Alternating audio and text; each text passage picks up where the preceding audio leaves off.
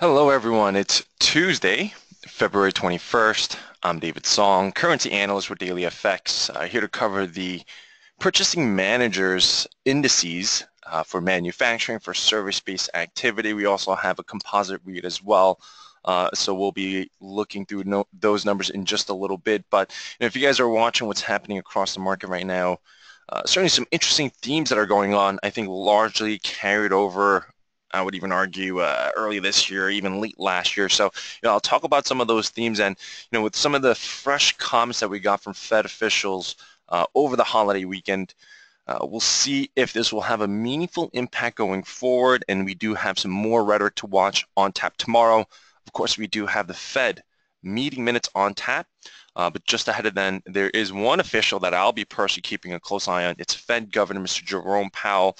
Uh, again, he's a permanent voting member on the FOMC. So, you know, we're getting some interesting remarks from former voting members, but these are the rotating members, right? Like Mr. Patrick Harker from Philadelphia. He's not a permanent voting member, you know, so we'll see if, you know, the ones I like to call maybe the majority, the one that are, you know, sort of in a similar position, if you will, like Chair Yellen, who you know won't only be you know around for 12 months and then they rotate off, but you know these permanent voting members, we'll see how they will come out. We'll see if they will spark a similar tone.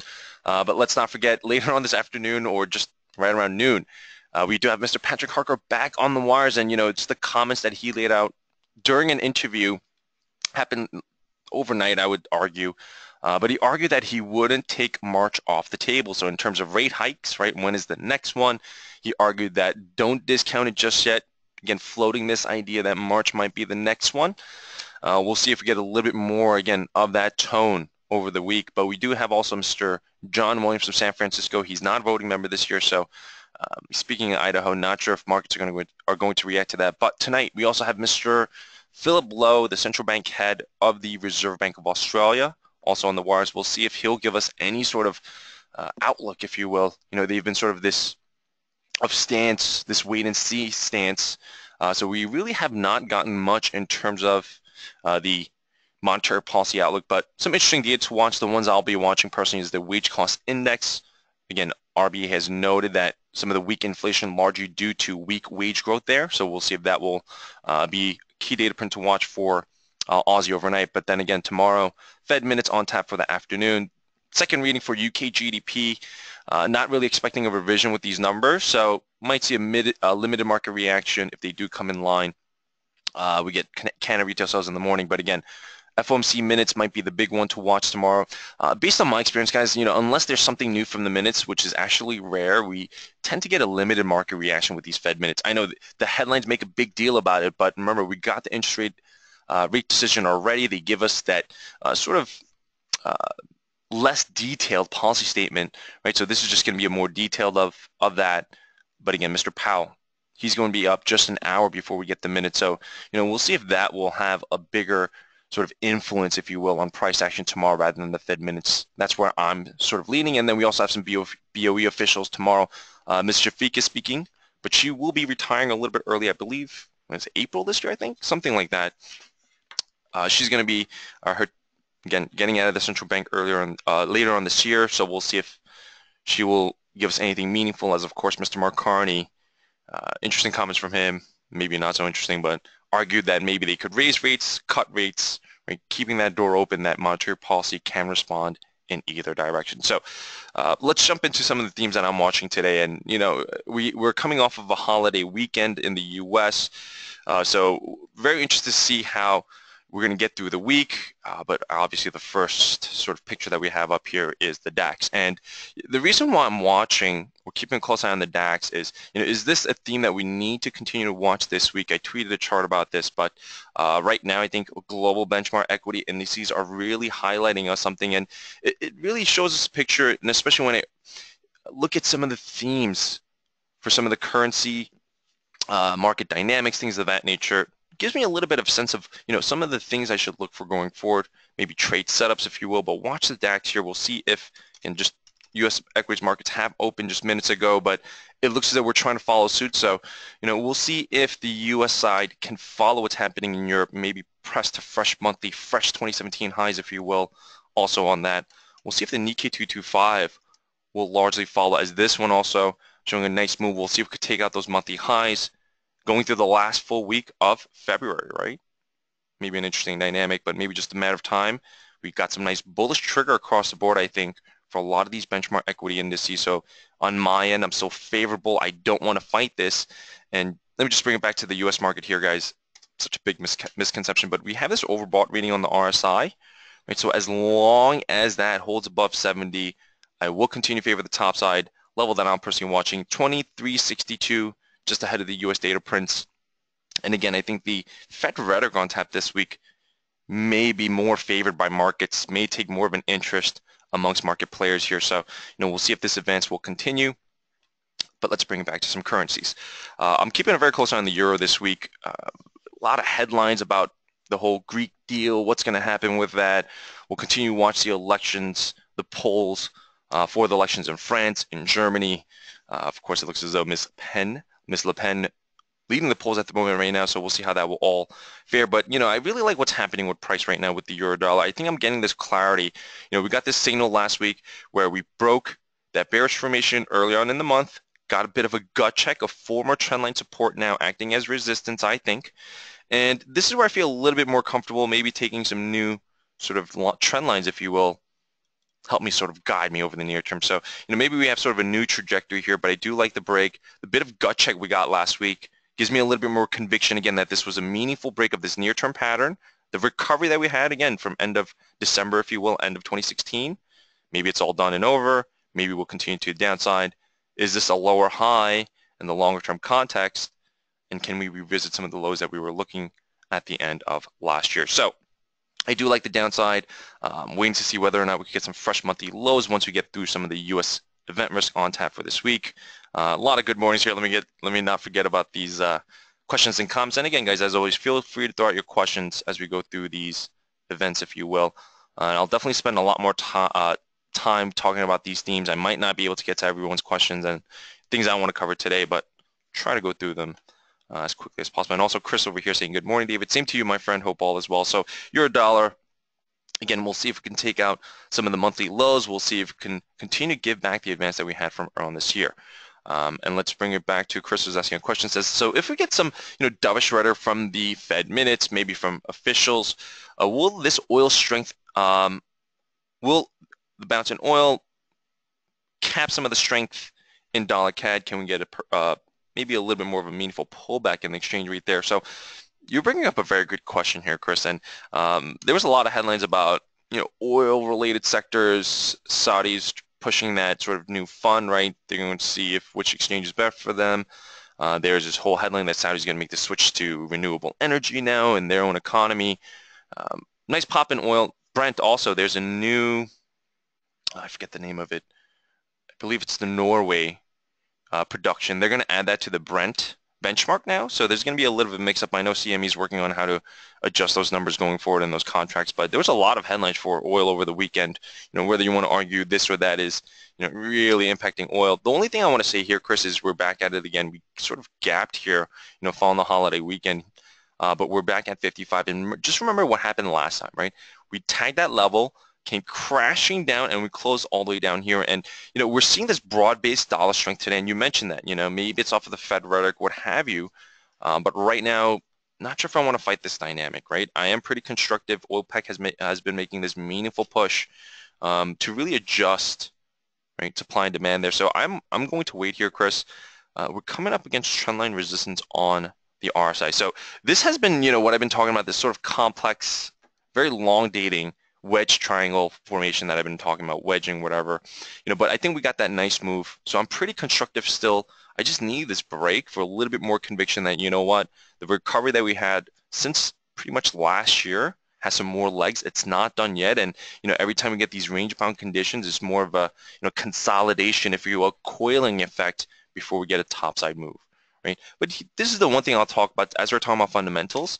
Uh, my only concern about oil right now is a lot of these major central banks have been arguing that this recovery in energy prices has been driving inflation, and that's where they, again, an argument I could see they're going to look through this, right, this transitory effect, right, that we heard on the way down, right? They were talking about how this is all transitory, so they'll wait for the rebalancing. Will the opposite come back, right, of that now that, again, we're seeing higher energy prices, Will this be something that maybe central banks will turn or take with a grain of salt? Let me say it that way, Chris, as it is normalizing. But again, if this dynamic continues, we'll see if that will continue to limit some of the topside risk for dollar CAD as well. We'll see if the Bank of Canada, you know, may take on more of a hawkish tone, if you will. They've been largely holding that policy throughout last year, right? They haven't changed and or really done anything. So for now, though, I have to give it to price action, right? I don't want to fight some of the bigger themes. So uh, right now, I think, again, we're coming off of support. We broke the tight range from last week. We'll see if we could revisit the monthly opening range here, right? 132 handle, 132.10, if you will. That's going to be my line in the sand. But again, long term, I'm bullish, but near term, I'm flat, my friend. So again, very nice range play, I think. Again, trending long term, but near term, you know, there are some favorable levels to play. And again, looking at that RSI, I really don't have a direction, just consolidation that we might get this sort of coiling action maybe before we get a move higher. But, you know, Mr. Boutros and I, you know, he, he loves the trend lines. He loves the slopes of these. And that's the only thing I would mention, Chris, is watch the slopes. This slope, again, I have a broader trend line going all the way back to 2012. We've talked about this numerous times, right? But I think I have to, again, respect the fact that we're coming off of that. We're breaking the narrow range here. Maybe if we could break this bearish RSI formation, gives me a little bit more conviction to the top side. But yeah, I'll be careful with this one. Uh, very nice range play here. So again, for now, I'm going to tame my expectations as well. Just look for maybe a run towards the monthly highs. But once we get there, we'll see if we get a nice trigger on the RSI, right? But just be careful with commodities right now because it's a little bit mixed. Like copper, I mean, are recoiling, right? We, we broke those highs earlier in the month. Pull, pulling back right now, just really just a limited pullback here. And if you take some tighter trend lines, if you will, it's holding up fairly nicely, right? So even with this one, I don't want to get too bearish on this, right? And even gold and oil, I think they're just sitting at resistance right now. We'll take a quick look before we move on. Remember, 1249 is what I have. 1250 is what a lot of my colleagues are looking at. But look at that struggle, right? Maybe near-term exhaustion, right? Start of a bearish formation here. So we'll see if we get a larger pullback for this one as well. But even with silver, um, that 18 region, right? Whoops. Right? 18, 1825, just really struggling there right now. And the reason why I really just wanted to wrap up this whole commodity overview with silver is I am sort of getting a break now, guys. So this is the one thing I'll leave off with. We'll, we'll talk about more about this maybe tomorrow, but um, 18 to 1825, right, this former sort of support zone I was watching, struggled there. Longer term trend line resistance maybe coming into play. RSI struggled to break above 70, even though we were making fresh monthly highs last week, fresh 2017 highs last week. Now I'm starting to see this trend really start to struggle right? pointing at exhaustion, um, maybe an extension of this long-term trend. We'll see. So I'm waiting for a little bit more clarity with commodity prices as, again, some mixed price action right now. But um, oil, again, I think it might be a little bit more of a different dynamic. A lot of headlines going on with that and, you know, this meaningful push. So we'll see if that rebalancing will, you know, large continue. And Chris, I was also reading the story. You might want to do a quick search. It was about take it for what it's worth. It was a big story about uh, how Royal Dutch Shell was actively purchasing um, real oil, um, just barrels and barrels of oil. These tankers that are just floating around, they were just purchasing all of them in the real market. And and you know, a lot of these oils companies actually have these big trading desks too, and how they were actively again involved in the market here. Um, so there's a lot of headlines right now, Chris. So that was another headline that I read again that again maybe you want to do a quick search on Google News or something Royal Dutch Shell was actively buying contracts um, in the market, participating in, again, maybe spurring this move, right? So a lot of themes going on about oil. So I'll continue to watch those headlines. We'll see if we get another squeeze higher, right? All right, Chris, what a big thanks there. My pleasure, my friend. So let's move back to some of these U.S. dollar crosses. And uh, to be quite honest, I just, for argument's sake, let's just cover cable. Even though we have BOE on tap, watch the tight range here, guys. We're quickly winding down to March. You know, a lot of back and forth about how will this whole voting process, um, you know, with Parliament's involvement on the UK referendum, how will that all pan out, right? Um, so it's going to really get tight over the next couple of days, I think, for cable, for sterling crosses. So I'm personally, again, not a recommendation from Daily FX, just my personal views, but I am not touching anything sterling. My personal game plan. I mean, a nice tight range here, so if you guys are gutsy, right, feel free to play the tight range. I just don't think it's worth it. Um, but again, when we get these squeezes, could mean that could be coming up time for a big move. And again, with these headlines coming out about Brexit, we'll continue to watch that. But uh, the pair that I do like watching right now, and again, given the pickup that we're seeing in risk appetite, watch some of these yen crosses. I think that's where most of my focus will lie for the week. Nice. Uh, again, I just want to float this idea. I do this all the time with the top-down approach. So you can't really see it on the on the um, daily, but I'll argue this on the hourly, and I'm sure we'll get some more of these. But is this sort of an inverse head and shoulders here happening on the hourly? Um, I have to get rid of some of my trend lines here, but a bit of divergence down here, right?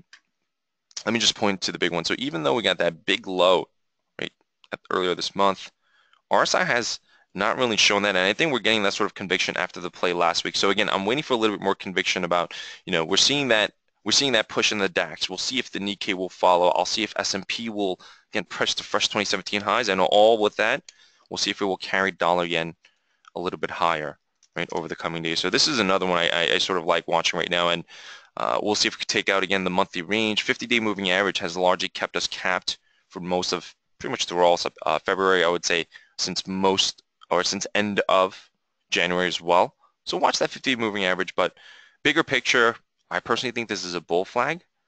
I got a nice bullish trigger on the RSI, so I am pretty constructive about dollar yen. And the pair that I really like watching, I know we got the data, guys. Let me quickly run through the data here.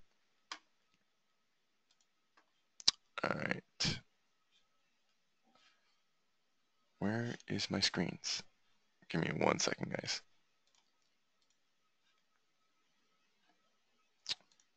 Right, a little bit of a delay on my end, guys.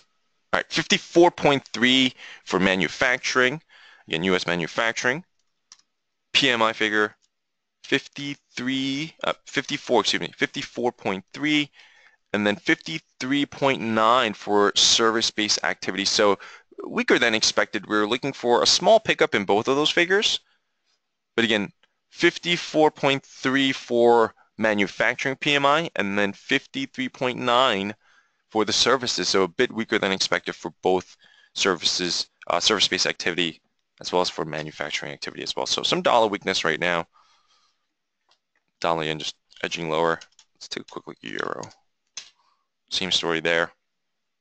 Maybe just a quick blip on the radar, but again, both figures missing market expectations. Uh, we were getting some comments from Mr. Neel Kashkari again, he's also a voting member this year, right? The Minneapolis Fed president, but um, I can't see any meaningful headlines. I'll just read some of them, but yeah, Mr. Kashkar was saying monitoring stock market um, hasn't factored in potential fiscal policy changes into his outlook. Again, just noting about some of the uncertainty that lies ahead right now, but nothing meaningful from uh, Mr. Neel Kashkari. Uh, again, I don't think this market reaction will last my personal expectations, guys. Again, I think we have some bigger fish to fry this week, right? With uh, minutes tomorrow. Um, I want to see what Mr. Jerome Powell is going to say tomorrow as well, but uh, we'll see if Euro will hold again the monthly low, just pips away from that. Uh, but for now, I think we got a nice turn in the Euro as well, bearish trigger, right? Talking about that earlier, and uh, Raula wants me to cover the U.S. dollar index. Which one? The ICE one or this one? I don't watch this one too much, but one thing I will say about this dollar index, uh, maybe just a failed move at former resistance. Uh, I was personally watching this level. This is just the 618 of this retrace. This is from all the way back in April of last year into the high that we made of um, pretty much at the end of last year or beginning of this year, I would argue. You can take either high. I don't think it really makes a difference, but I took the January high. Um, again, failed run at that 618 retrace. We're getting a nice move here. I mean, the RSI hasn't really told me or hasn't really shown a meaningful conviction because the trend line on this one was very, or the, the slope was very steep on this one, so I didn't expect it to last very long, but no, it's working out pretty nicely. Here is a trend line I'll start potentially watching for the RSI maybe because we failed to preserve this one, and that's why I, I thought we could get a bigger correction, but the only reason why I want to sort of bring up this old trend line is this. Right? I thought maybe we can see something similar here where a former trendline support turns into resistance, but if it's cracking again and we're seeing momentum trade back above that former trend line, you know, I'm also watching to see that, right? Might remove this risk that, you know, we're going to see former trendline resist uh, support, excuse me, on the RSI act as resistance, and maybe keep the dollar strength source sort of tamed here, spur range-bound conditions. But you know, I'm watching this move to see if that's going to really give me a little bit more conviction to the top side for the dollar index. So I can't say I watch this too much. Again, I can't trade it here in the U.S., right? but it's somewhat constructive here. And you know, I think it's going to be all about picking the good counterparts because, like, remember the breakdown of this is it's equally weighted between euro, sterling, Aussie, and yen. Right, so sterling, I'm not expecting that thing to move, so let's negate that out. Euro dollar, yeah, we might see again some of that euro weakness really translate into this. Same thing for the yen here, but nice segue into the Aussie, right? It's holding a very tight range right now. So, you know, with this one, I want to see what uh, Mr. Lowe is going to say this evening. And to be quite honest, guys, this one exceeded some of my expectations here. Um, I was watching that 7730 60 zone for quite some time now. I'd say ever since the start of the month, right? We got that nice bull flag panning out. And to be quite honest, when mo momentum was deviating from price, I didn't think we're gonna we were gonna get that sort of last pop so I'll have to readjust some of my trend lines here, but no, we got that kick high into resistance, I think. Right? Now we're starting to see that more of a bearish formation on the RSI, and remember, it did sort of tag over bought, but never really made that convincing move higher, even though we were seeing fresh 2017 highs in the exchange rate. So, you know, this was the theme last week, right? Exhaustion, signs of that, especially for a lot of a lot of these commodity block currencies. We talked about dollar CAD, we talked about Aussie dollar, than but not least Kiwi dollar here. Right, we're making fresh monthly low, guys. I do like this move here. Maybe this is leading the pack. Right, so the way I'm sort of looking at it, especially following the failed move at 73.30, 73.50. Nice push higher here. Made fresh yearly highs, but look at how ugly that candle was. Right, made fresh yearly highs that day, monthly highs, but closed in the red. Ever since then, we got that big sell-off, broke support levels, near-term support levels. We're coming up against one right now, 71 handle, 71.20. If that gives out 7040, 7060, that's what I have next. So this is the one that I'm watching a little bit more. Uh, I think it's maybe leading its commodity block currency counterparts. Um, but this one has a nice move going on as well, right? We got that bearish trigger earlier. Right? Really failed to retain that move. And I've been waiting, right? We've been getting these sort of gut check moves ever since we've been testing that 73.30, 73.50 zone here. But again, I do like watching Kiwi dollar a little bit more. And again, with Aussie dollar, we'll see if Governor uh, Lowe will come out, maybe fuel some of the weakness here. Remember, they have been arguing or retaining that currency intervention for a very long time. Right? RBA, RBNZ, same story. They want that depreciation in the exchange rate to help with these, uh, to help with the inflation outlook, right? So I'll watch for that. And, and, Chris, you know, I hope that helps, right? Because we talked about dollar CAD, but you see how all these things are, are themes are lining up right now, right? The commodity block currencies are a bit weak. Copper, I know it's showing some strength over the last few days, but again, maybe a bit of exhaustion here. And gold and silver, right, they're coming off of key resistance zones right now. So does that all line up where maybe commodity block currencies might be on the weaker ones, right? But to you know shift back my focus here, I'll just cover this before we get out of here, guys. And you know I'll be back tomorrow to do you know cover more of these. And I'm again we need to see whether this bounce in risk app in risk appetite again beyond Fed rhetoric, you know, all these expectations. Is this the big theme we need to watch this week, right? Uh, Aussie yen, right? If this pickup in risk is for real, I like watching Aussie yen, right? Uh, nice move here. I got the bullish trigger, remember, early on in the month. So I've been waiting um, to see if we get some better prices, to be quite honest, and it's just not pulling back. So we're doing a pretty good job here, I think, of holding above, uh, again, 86 largely. I was uh, watching this last hurdle at 86.10, right? But a nice move. We'll see if we, you know, we're back to the races on this one again if we do see a pickup in, in market sentiment, risk appetite. Um, but right now, near-term hurdle, 88.16 to be exact. Again, 2017 highs, monthly highs, if you will. Um, but if we continue on with this pattern, and remember, I think this was more of a triangle than anything else. Right? If this is just a mere continuation of, whoops, you know, some of these near-term patterns. Right? We'll continue to watch some of the topside targets. We'll see if some of the momentum here will gather pace, right? But very nice move, I think. Right. So these are some of the pairs that I'm much. Oh, one last theme I almost forgot. Uh, keep a close eye on the peso and the rand? Uh, remember, I like to watch these two as maybe a gauge for risk appetite, but you know, I think I'm getting a little bit more color where you know, in the currency spectrum or USD crosses. Let me say it that way, right? Uh, I think we got to be mindful of the dollar story, right? Um, dollar peso holding that key support level, right? This is my sort of favorite EM to watch, maybe next to Korean won, but a nice support run, right? Failed. We'll see if we get a little bit more of meaningful recovery over the uh, over the days ahead. Again, I think we're trying to break out of this formation here, right? So some nice developments there. And even with the Rand, you know, we got that big break of, of a key support zone last week. Talked in the roundtable, but uh, we'll see if we get a move back above. Again, this 13, 1350 area, right, where we struggled for months and months, and then finally we got it last week. Talked about it in the roundtable as well. And now we've been struggling again, try to close back above that level. We poked back above that level a few times last week, but really failing to close it. Is that going to be another one to watch? But you know, the way I'm looking at this South Africa rand is it maybe more related to risk, dollar peso, maybe more so with the dollar story. Again, given what's going to happen with the fiscal changes coming about in the U.S., right? So a lot of things to watch. And um, Chris noting here, DXY still forming head and shoulders. I'm just wary of these head and shoulders call, right? The only reason why I, I would be wary of that, Chris, is because of this. If we if we held this formation, I would love to see that head and shoulders, right? But the fact that RSI does not jive, right, with things that would hold with a head and shoulders, right? That's what negates at least the risk for now for me, right? This move, right? And that's where I'm going to see if this is going to continue because, and before I forget again, let me just share this with you guys. And I hope all you guys have this page handy. You know, every time I hear headlines about, and I'll share this with the rest of the group, guys, if you guys missed it. Um, I'm sending it out in the question box. But, you know, every time I hear these headlines about, oh, Fed said this and, and market expectations are moving. Well, really? And you know what? I'll refresh the page just for you guys right now. And I really like this page because, again, it updates very frequently you get the timestamp so you know exactly what time it's updated. But really for March, despite the comments from Harker, 78 probability that Fed will hold next month still, right? So has it really shifted? You know what? Let's go out to June.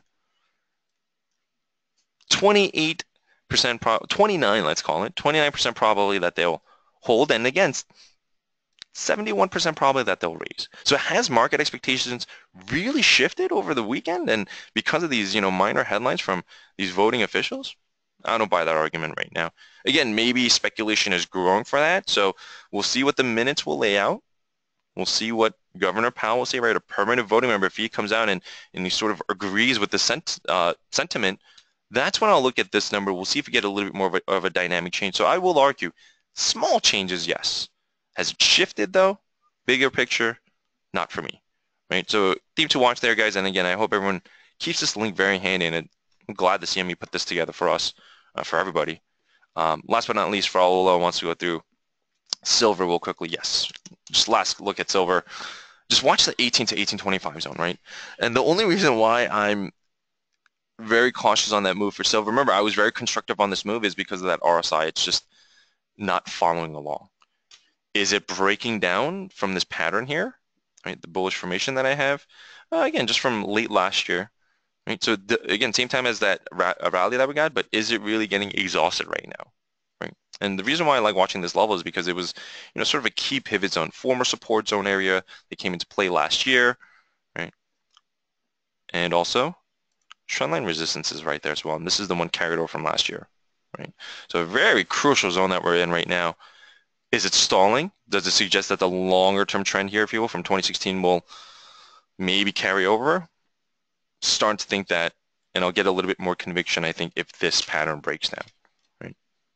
So to the downside, uh, feel free, again, if you're a little bit of a shorter term trader than I am, and, and again, if we do get a little bit more encouraging signs that, again, our RSI has deviated from price, it's going to break down from this, feel free to start tagging on some new short-term retracements, right? So the first level of interest, again, I have done this already, but I haven't left it on my charts.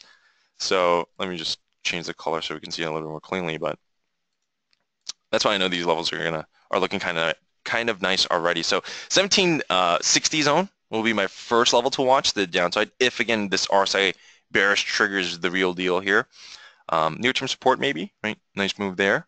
Uh, 786 retrace usually like watching that 786 and then 618 retrace all the way down here 1715 um, but it's going to be that 1730 40 zone more of a bigger pivot I think for silver prices that's going to be some of the bigger levels I'm watching to the downside and again um, I'll watch those maybe be a little bit more favorable about weaker silver prices if that RSI trigger really starts to unfold over the coming days right. hope that helps and with that guys uh, looks as though I just ran out of time here. Hope you guys enjoyed the overview. And again, um, let's bring it back to currencies here and got that quick blip on the dollar, but again, we'll see if this will just be something, uh, maybe a bump on the road here as again, this sort of expectations about the Fed uh, might be a key theme for the week with all the Fed rhetoric, the minutes on tap tomorrow. So we'll see how markets will do. And again, I'll be on the wires. I'll be back here just before that. So we'll talk about how conditions are before then. And then again, watch that pickup in risk appetite. Ah, man, that the DAX is just, it's going. Right, so we'll see if this pickup in risk appetite will continue. And you know, personally on my end, Nikkei is is my sort of favorite here to watch.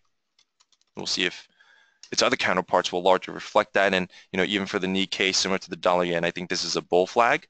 So we'll we'll see if we could revisit some of the highs. We'll see if we could finally get this closing price above 19,636 to be exact on my end. Right, that's that we poked above, we poked above that level many times in December, but just really failed to close above that. That's what sparked that pullback that we've got. Are we going to make a little bit more of a meaningful run there this week? All right, guys. So with that, hope to see you all again tomorrow. Again, I'll dig some more into you know, the themes, currency pairs that I like watching over the course of the week, last full week of February. But with that, best of luck on everyone's trades. Have a great day, everyone. And again, I hope to see everyone for tomorrow's coverage just ahead of the Fed minutes.